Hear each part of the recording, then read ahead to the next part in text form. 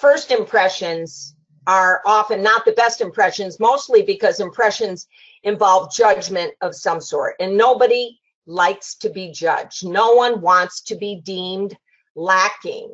As one day role models, we're only going to see these girls for somewhere between four and eight hours. As one day role models, we're, we are going to be judged by the girls we inter interact with. And so our goal as the leadership of the event, our goal for you and SWE is that you leave the best impression possible of the best parts of being a female in engineering and technology. So Deborah's going to lead us through a quick primer on bias, in particular gender bias, including a little touching on stereotypes and sexism, and then she's going to share some micro affirmations to help us combat any bias that we might see moving forward. I'll then talk in a little more detail on why role models are so important and what makes a good one. And then Kerrie's going to pick up with advice on how to work with groups of girls doing engineering and technology activities. And she'll close with a very brief discussion of the Invent It Build It activities. And it's going to be brief because the plan is really to cover those activities in glorious detail only during the last 30 minutes of the on-site session on Friday from 2 to 2.30. And then finally, if we have time, we'll entertain a couple questions.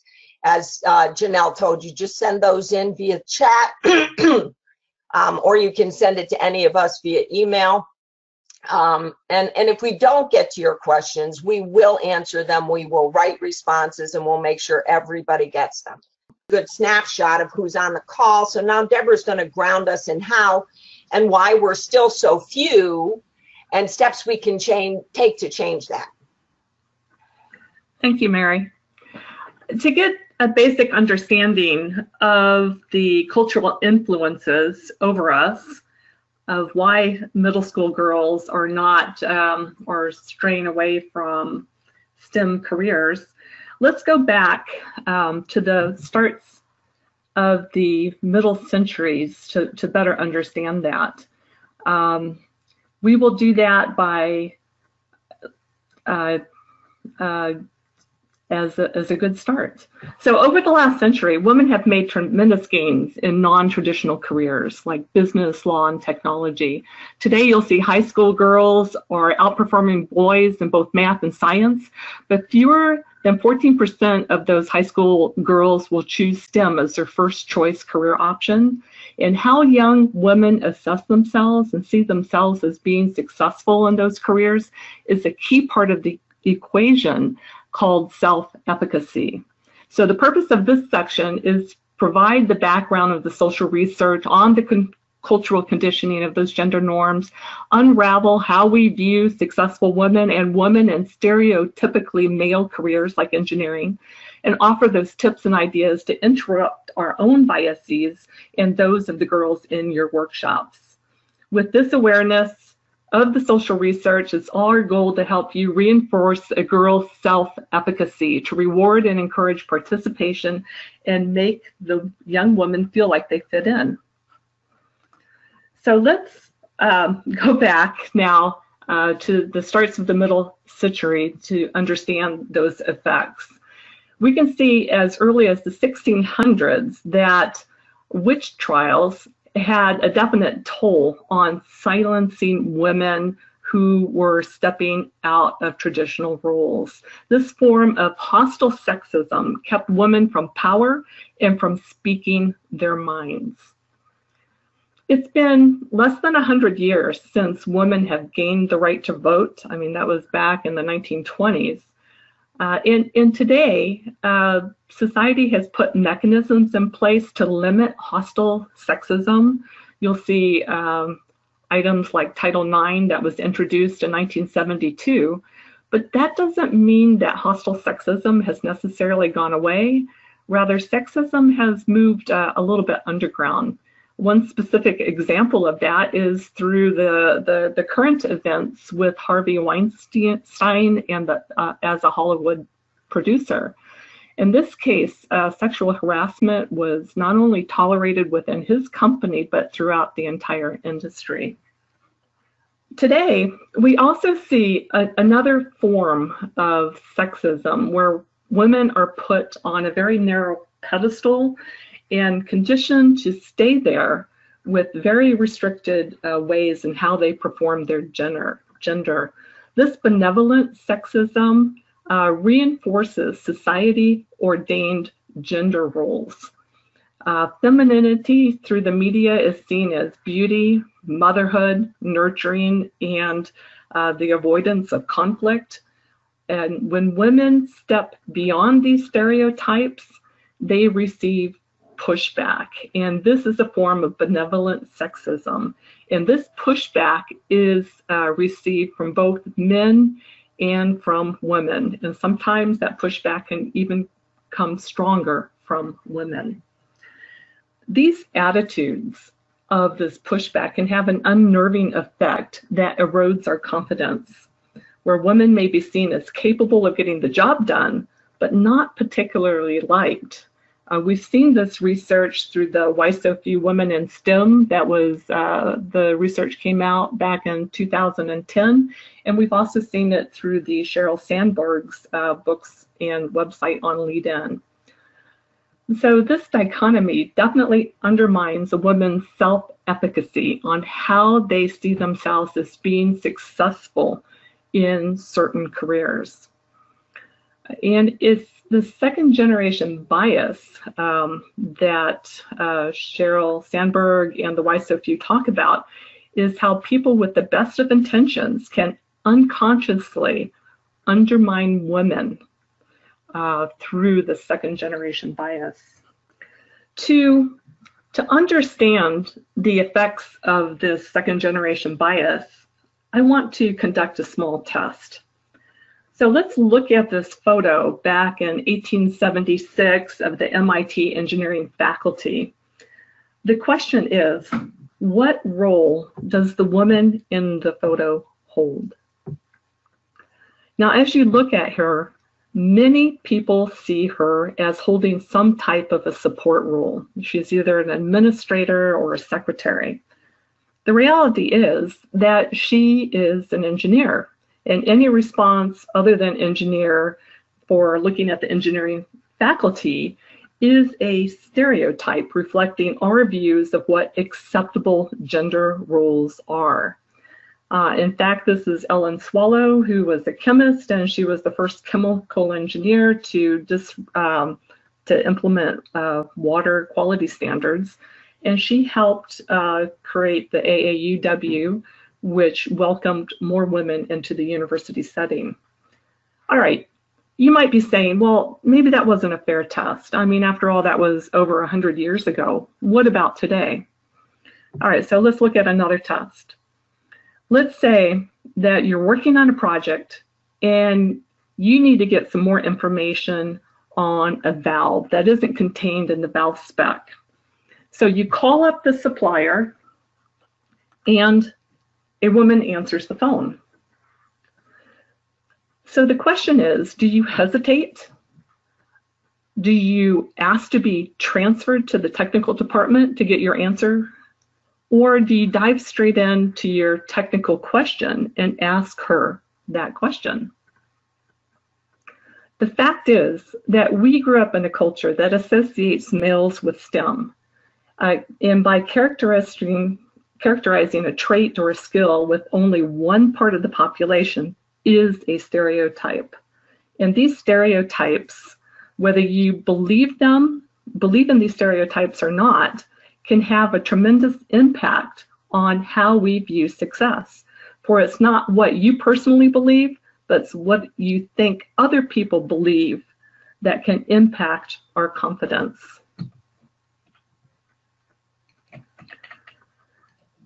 So let's look at these uh, traditional gender roles a little bit further to see what those impacts are on confidence. When middle school girls were asked to define the skill sets of a leader, they used terms like nurturing, caring, and good listeners. These are communal skill sets that are traditionally affiliated with women. Yet, in a separate survey, when managers were asked to define good leadership traits, they predominantly defined them as terms of agency, being direct, self-confident, and assertive. These are characteristics traditionally affiliated with the male. Um, so this social construct of how we define a good leader is what I like to call the curse of the good girl. For girls, internalized beliefs about femininity that runs contrary to what the industry belief is for a successful leader. These gender stereotypes are pervasive and they have an impact on all aspects of women's and men's behaviors. It influences how women are perceived or they view themselves in situations where leadership is required.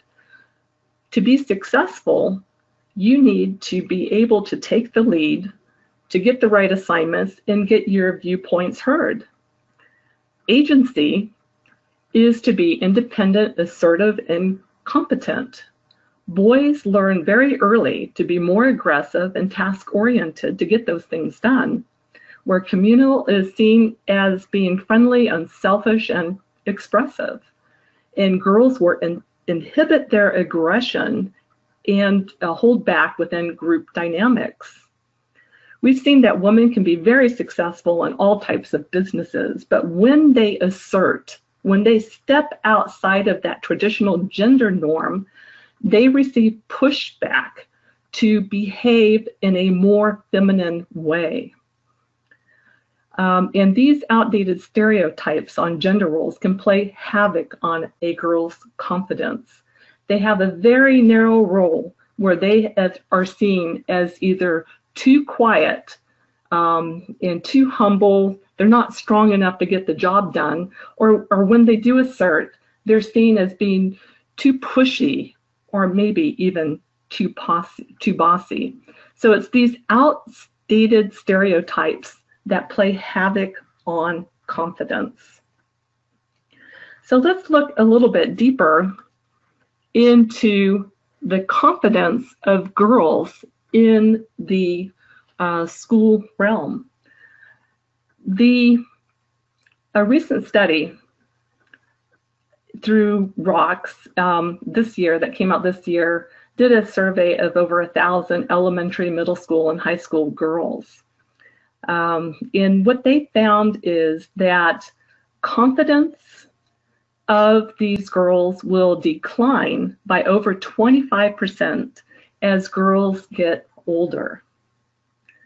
And the confidence of girls decline as their desire to change appearance increases. So confidence is definitely about the willingness to speak up, to speak their minds, to believe that they are smart and that they want to lead.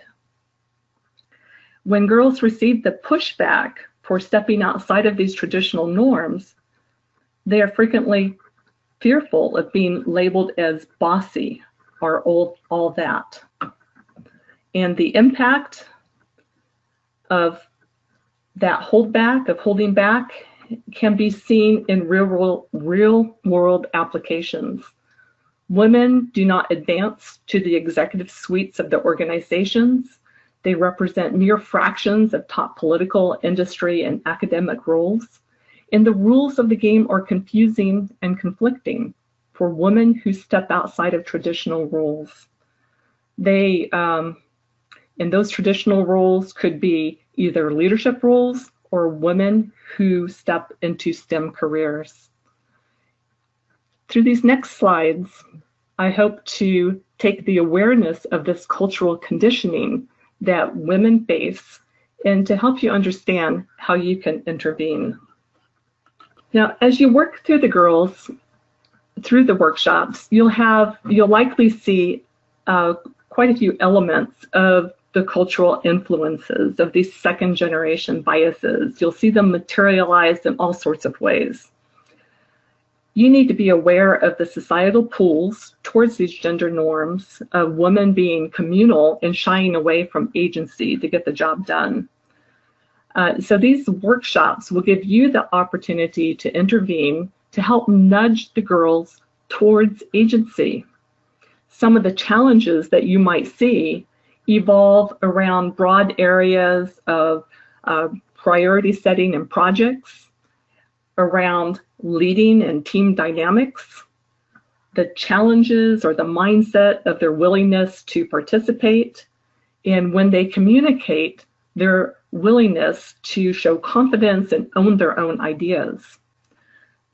The next few slides uh, will propose a few scenarios of the behaviors triggered by the second generation bias and offer you the tips that you can use to help nudge those girls towards a successful workshop. So first off, let's come across our first scenario. I want you to think about, in all of these scenarios, what is the question that you would ask to bring to their attention the issue at hand? In this particular case, you see a team is working on making the project pretty very early in the process. Your fear is that they may not finish it. What would you do? What question would you ask to help get them into the right mindset? Well, one thought um, in this case is to ask, is the project working yet?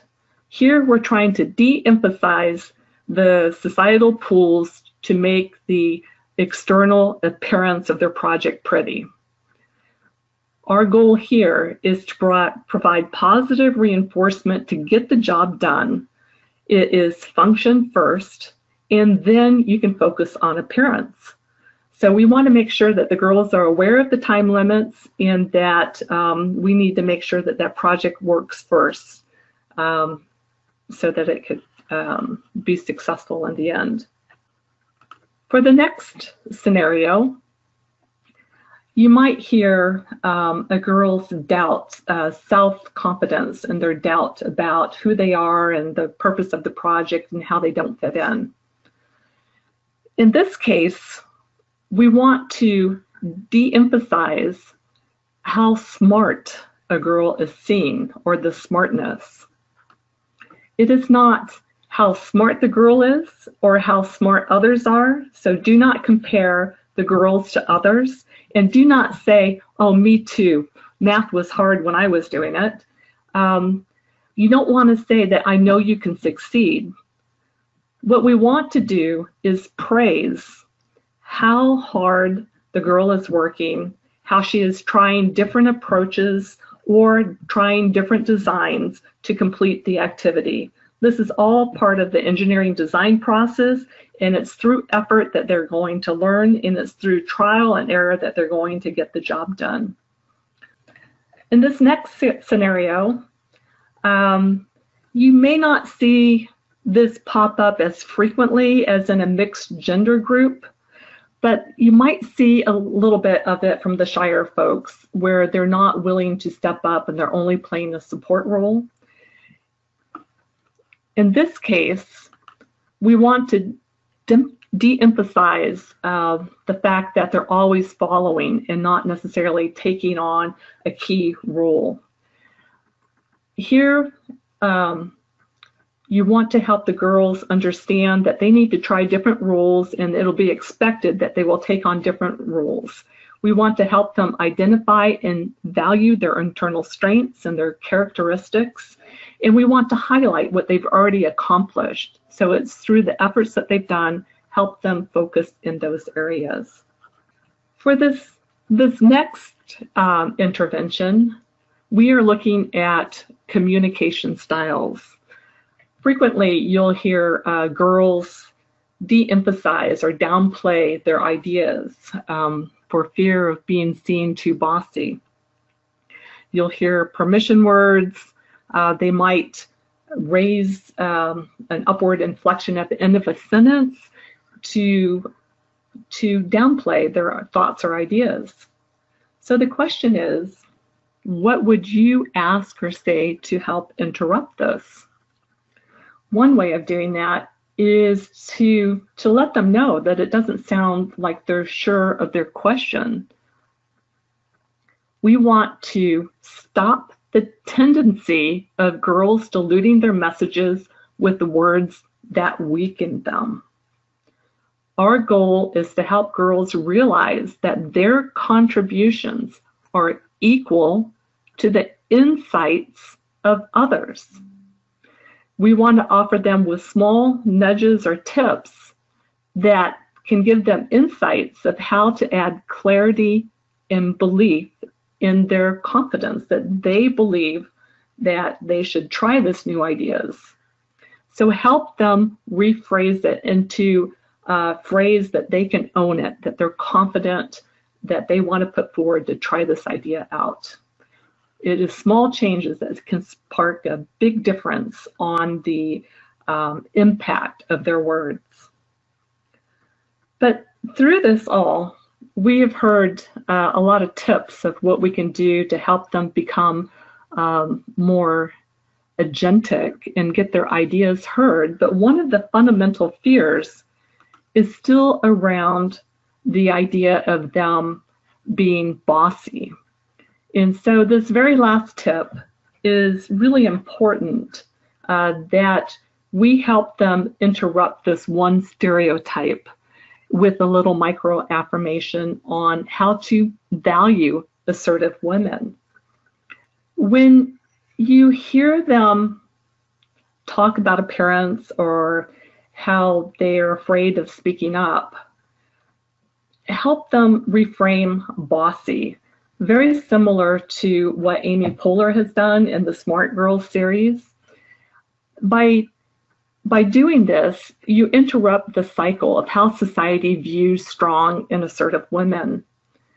By interrupting the stereotype and unconscious bias, uh, these micro affirmations have the biggest impact. So you can help them with their own bossy comeback if somebody is labeled as bossy or their fear of bossy, you can say that, well, if by bossy, do you mean that she can get things done? Well, then thank you. That's a, it's, it's a great idea. We will be a little more bossy to do that. Um, you can help the girls with these other micro affirmations to help vouch for others' credibility so that they don't have to introduce themselves or when an idea is not heard to help amplify those ideas so that everyone can hear them. So it's really good to reflect on these bossy differences in gender attitudes. And one way of doing that, if um, if you see a girl hedging, is to ask that, well, if a boy were to do the exact same thing, would you feel the same way? And it's a really good way of countering how we hold back is one of the gender uh, cultural differences that we can step through. So with these behavior-based tips, we're hoping that you have a really good start to understand your own biases and how you can add value for women of agency to help get things done and to help step through and prime the situation to have a really successful workshop.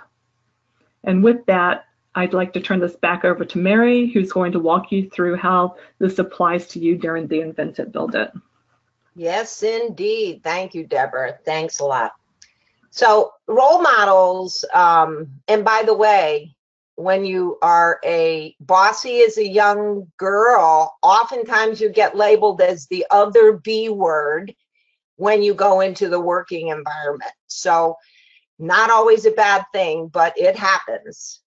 The role models are really what I refer to as episodic mentors.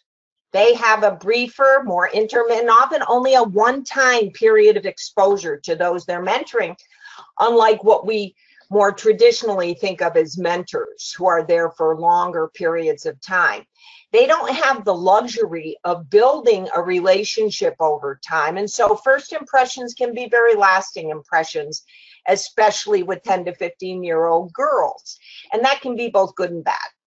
So your job at Invent It Build It and any other opportunity that you have to work with K through 12 girls is to share with them what drew you to engineering and technology. Maybe you're really good at math and that's okay to talk about that.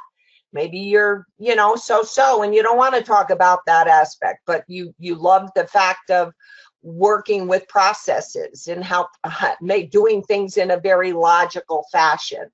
So there's a myriad of ways that we help solve the problems while making a good living as an engineer or a technologist. And whether you're still in school or you're working, you need to share your excitement when you went to your the first first championship in Houston or your relief at passing an important test or even some of the places you visited when you've been working.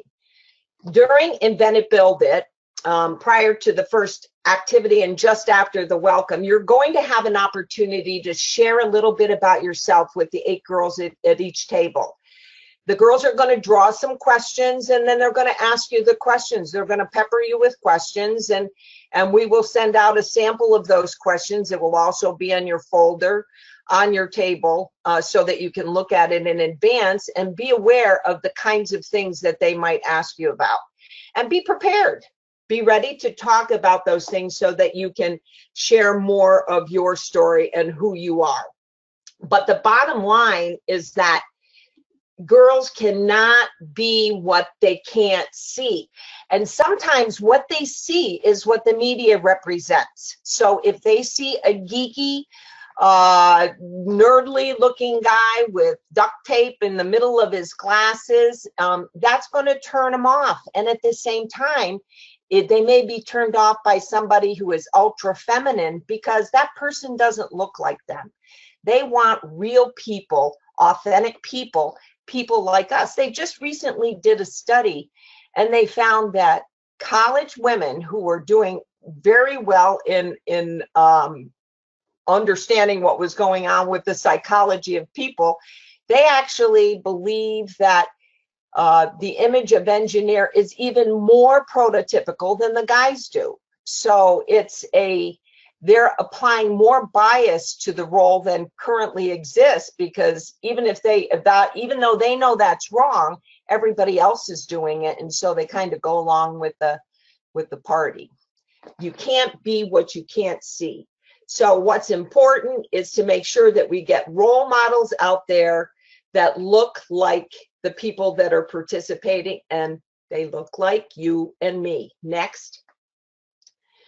This, um, this next slide is um, from Fermi Labs in Chicago. This has been around for about 35, almost 40 years now, this Draw a Scientist test. It was developed in 1983. This is from the early 2000s, and what they did is they had kids walk around the lab and they had three particular engineers that they had them meet with. One was a female, one was an African American, and one was a white male. And then they had them draw pictures of the scientists beforehand and pictures of the scientists after. And so this is a drawing of a girl who drew a male, geeky looking dude beforehand and afterwards draws a pretty cool looking um, female. And so the unfortunate thing about that is that she still was in the minority. So the majority of girls still drew males after that. And what that message sends is we still have a lot of work to do. Next slide. Um, that points to the key attributes of role models as serving three different basic functions. One is psychosocial that's the things that get us going in the, the social side of interfacing with people. Another one is uh, that we provide some career and vocational function that we we do try and help them focus on um, what it is that, that that the skills that they have that they may be able to apply or learn how to apply, and then role model functioning functions. And if you look at the bold um, characteristics that are listed here, those are the ones that we at the end of um, our Invent bill that we look back and we say, how well did we do? So we will ask you, how well do you think you did with active listening and approachability? And were you a good activity guide? What could we have done better to help prepare you for this? And then we're going to ask the girls the same thing. What did they think about the role models that they worked with so that we get uh, convergent data that says, hey, we're doing the right thing or we're not. Um, so what what is important, and we recognize the importance of recurrent mentoring, that we continue to do this all along. However, um, we'll take what we can get. And if we have an opportunity to bring some role models together and affect a change on a large group of girls, then we need to be able to focus on that too and not just worry about develop, developing long-term recurrent relationships, which we agree is the gold standard, but practically it may not happen. So how can we best be the most effective as possible as we move forward? Next slide. We're just going to quickly talk about Albert Bandura, who I've had a crush on for a number of years. I think he's about 90 now, but he developed the concept of social cognitive theory. And what that says is, or cognition theory, it's, it's that people don't operate in a vacuum. People have a two-way pull on other people, on their environment, on the behavior of other people. So there is something, as long as you're in any kind of a community, you have to recognize you're not all on your own. You have some impact on other people and other people have impact on you. And he looked even more closely at what happens in terms of gender development, he and a colleague, and they looked at dis discovering that role modeling is so critical to help um, individuals or children develop into full actualized adults that have good self-efficacy and that have good agency. And that role models are a critical piece of this so it is a um, important that we recognize any of the baggage that we come into a an interaction with people. Um, and we recognize that other people have baggage that we're probably going to have to look the other way or try to work with. And so you never can go in and say, this is the ideal situation. There's always opportunity for us to learn a little bit more about ourselves and others and to that's where the bias awareness initiatives that Deborah spoke of and that we have now included in some of our online training are, are there to help you become more aware of your potential to bias somebody. And bias all by itself is not an issue. The issue is when bias become, it impacts somebody's um, ability to earn a living, it impacts their ability to uh, function in society and that's on the next slide. Um, self-awareness who who we develop. It, it is a product of nature. We can't we can't deny that. But it's a bigger product of the environment that we're in. Gender development starts early. It really does start much earlier. Uh, just a quick anecdote. My granddaughter three or four years old i said pick some toys out of this catalog and to for her and my grandson who was a little bit older and so they're circling toys and there's one that's like a roller coaster build a roller coaster that my grandson had circled. And I asked her why she didn't circle it because I knew she liked that kind of stuff and she said oh it's only boys in the picture. They're the only ones that can use it. So it starts early and we need to be aware that media shapes it a lot um, role models really can heavily influence um, the occupations that people go into. And that begins early too, because they look at their mothers, they look at what mom does, they look at their teachers who are 85% female. And they say, okay, that's what I'm going to do because that's what women do. Um, it, it impacts everything. And the thing that's important to remember is gender is not binary it's that the studies that have been done it is not one or the other. If you go to the next slide it's both. You can have both of those characteristics that reside side by side. And and we've done some analysis on this and we've discovered that we are a special breed. Female engineers in some respects are a special breed because we have had to adapt to a more traditionally male environment and because of that, when you look at the characteristics that we have or that we have learned in some cases, we have high feminine and high masculine. And so, and that's not a bad thing. And that is actually a good thing. It's called psychological androgyny. And what they found is that people that have high masculine and high feminine often are very successful people, and they're also relatively happy people. So it's the ones that are at the extremes, one or the other, high masculine um, and or high feminine, or actually neither, where they're just kind of going along below the, the median level and trying not to just to to do anything that's going to ruffle anybody's feathers. So I think it's it's an important thing to note that um, that these characteristics can reside side by side, and this masculine and feminine equate to the agentic or what they called instrumental characteristics, and the feminine equates to the expressive or the communal characteristics. And as Deborah said, leadership needs both of them. Leadership needs both of them. Okay, so I'm going to now hand you off to Kerrie. She's going to talk to you a little bit about the specifics for engaging girls.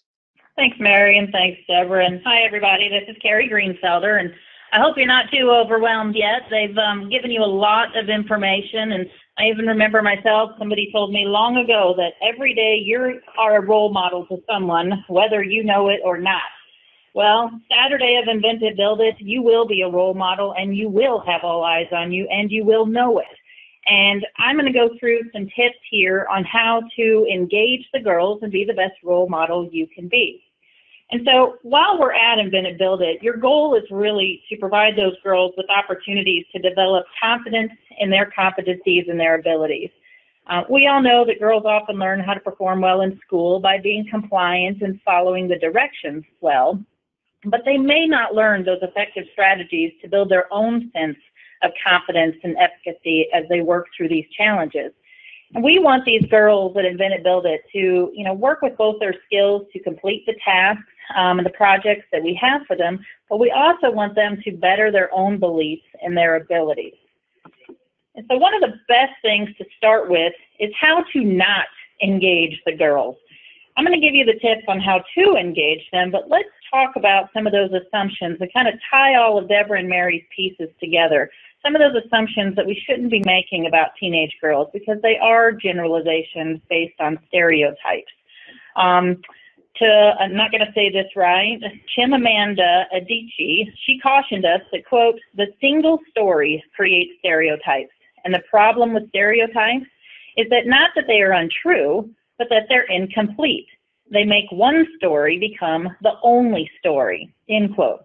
So just because you were or you know and you're familiar with the behavior of one teenager, that doesn't mean you can take a broad brush and assume that all teenage females are the same. And so my one tip for you, and this is the easiest one, is to be here now. Uh, I have been uh, involved with Invent Build It um, since the inception here, and one of our first rules is don't be afraid to speak up and say that this is a cell-free phone zone. And so it should be about the girls. It should be what's happening inside the room, not outside the room. I love that I get to turn my phone off for six hours and be engaged at Invent It Build It. So when you volunteer, we expect you also to be fully engaged. Put aside the drama, put aside your worries, your to-do list for the day. They'll still be waiting for you at the end of the event. And commit to the girls that we invited to be with us today. So the key elements of your role model introduction, when you sit down at the table, you'll have a little time with your girls. Um, make it personal, make it fun. Um, I've seen a lot of role models in the past kind of have a note card in their pocket where they, you know, write down some key things that they don't want to forget to talk about with the girls. So think about, you know, even some of those vocabulary words that that you might want to share with the girls from your own careers and, and your own, you know, jobs or, you know, studies that you have. You know, we like to use the word technobabble, but share some of that information. Maybe bring a picture or two about your job. Um, I'm a water engineer. Water is pretty easy to understand, but can you help the girls, you know, relate to your field? Nanotechnology may be a little more difficult, so maybe a picture might help.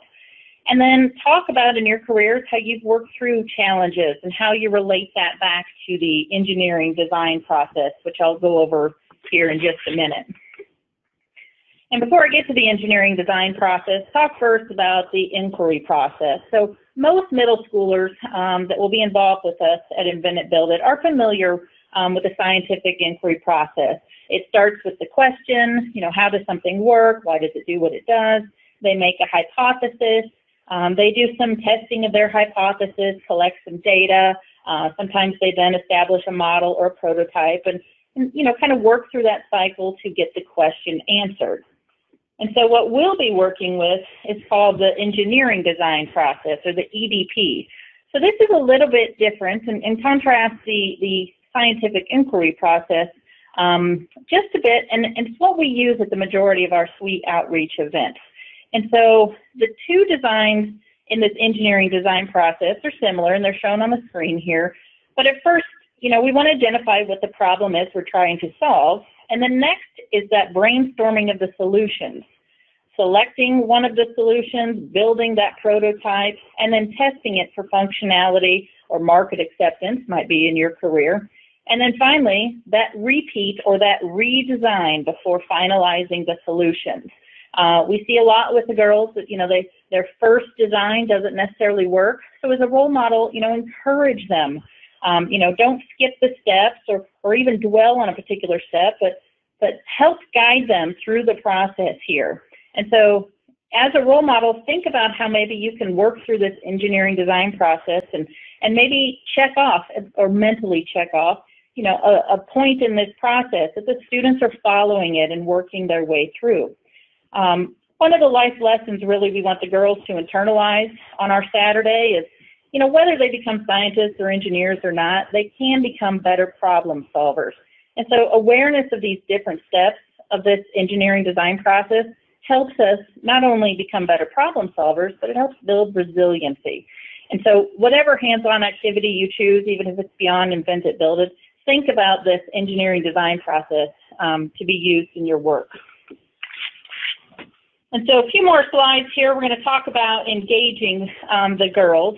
Um, you know, first is hands off. This is the activity for the girls, um, meaning that you're not to just come in and fix the project for them. When you start to put your hands on the project, Mary and I have seen this a lot. They immediately step back and they let you fix it. Um, or even, you know, the girls might start thinking, oh, good, they're finally going to make this work for me. That is not what we wanted in It. We want these kids to gain that confidence and persevere to get those projects done. So think about how you can continue to engage those girls, giving that feedback and listen to what Deborah and Mary had said throughout today and make those connections to your own careers and your communities um, throughout those activities. An even harder one here is giving feedback.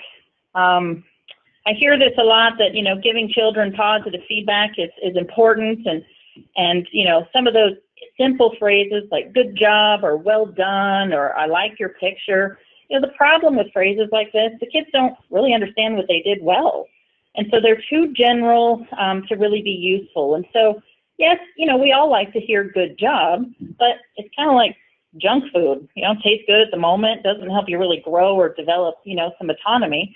And so one of the most important attitudes that us role models and adults who want to influence these students positively is to think about a growth mindset and then just, you know, promote that. And so, excuse me.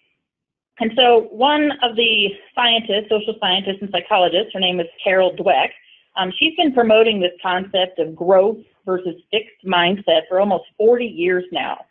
And so what that is, is the ability for our brain to grow and change with effort and practice rather than just accepting that you're born with abilities like intelligence or understanding math or, you know, being a good athlete or not, that, you know, practice or effort will never fix it.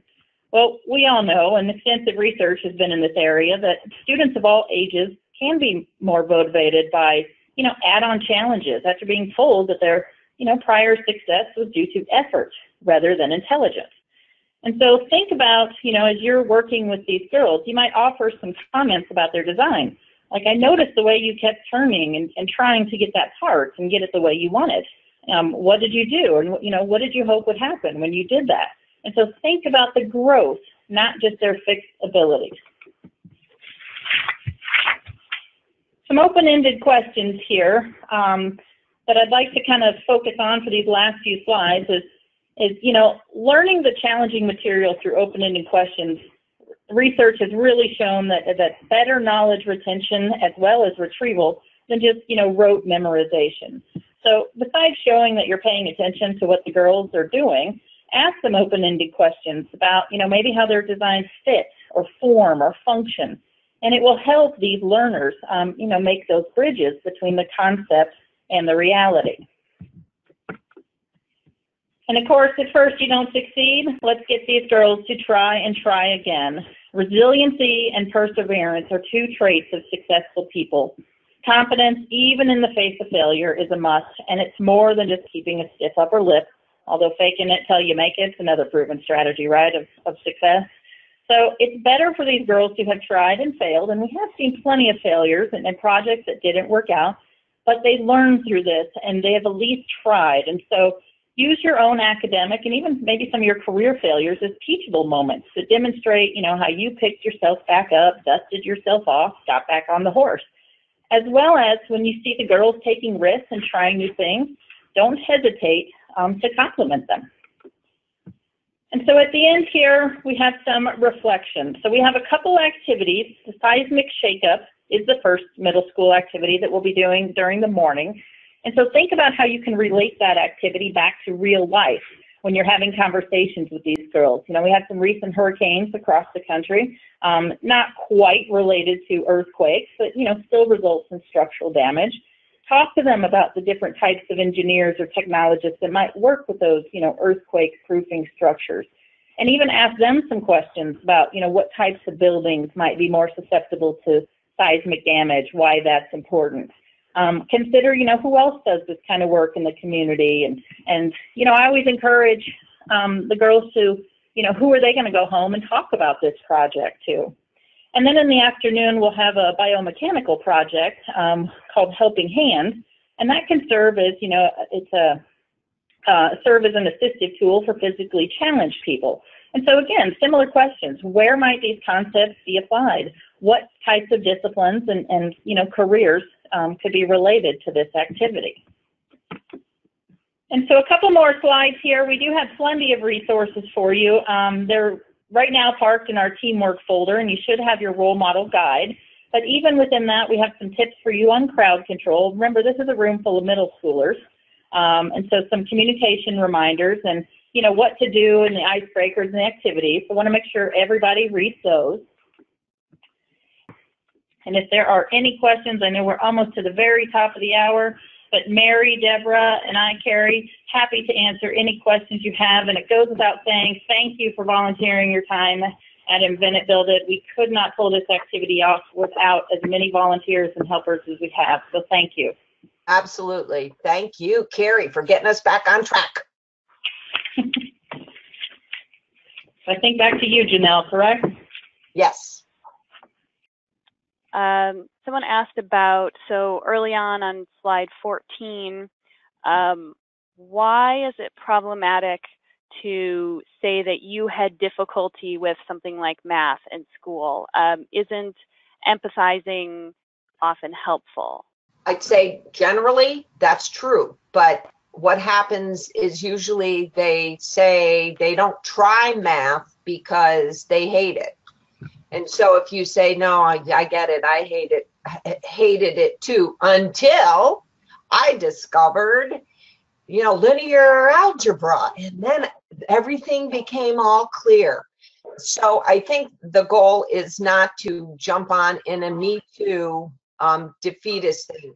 What where we typically hear this more commonly is from mothers to their daughters mothers allowing their daughters, cutting their daughters slack on math because they too didn't like it.